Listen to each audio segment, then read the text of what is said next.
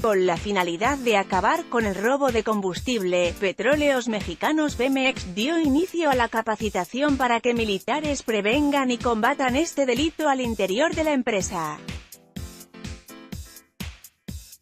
Ante el despliegue de 4.000 militares contra los huachicoleros, la petrolera especificó que los cursos que recibirán los soldados incluyen el conocimiento sobre los tipos de combustible, así como la lectura de los sistemas de medición.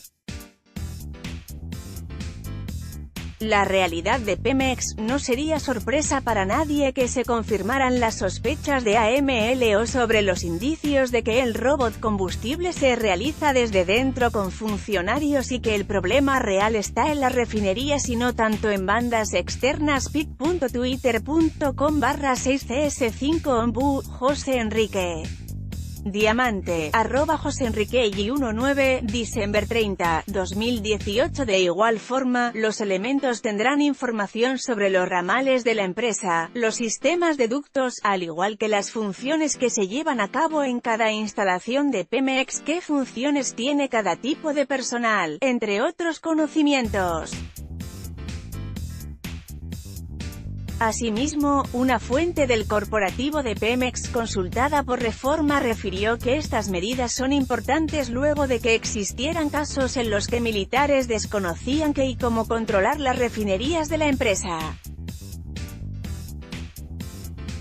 Por otra parte, el funcionario de la empresa acusó que, a pesar de que los elementos contaban con los registros de salida de combustibles, no tenían idea de qué hacer con ellos por tal motivo resaltó el arranque de las capacitaciones para que no haya dudas en las operaciones y funciones de la compañía.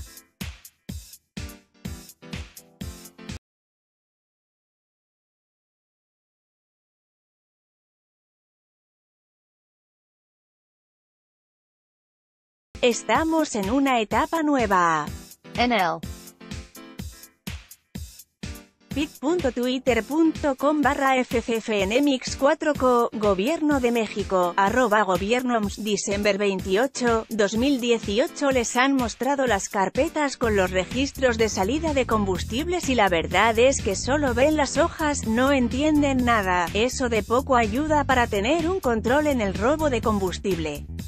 En este escenario, agregó que entre las funciones de los militares está llevar un control de los procedimientos de abastecimiento y reparto, al igual que de la entrada y salida de vehículos incluyendo pipas. Otros cursos que recibirán los elementos castrenses son sobre la certificación en estándares de competencia de marca de vigilancia y patrullaje de seguridad física en instalaciones petroleras, entre otros. Con información de Reforma Foto, Félix Márquez, CUARTOSCURO Anímate a comentar. Queremos saber tu opinión. Comentarios powered by Facebook Comments.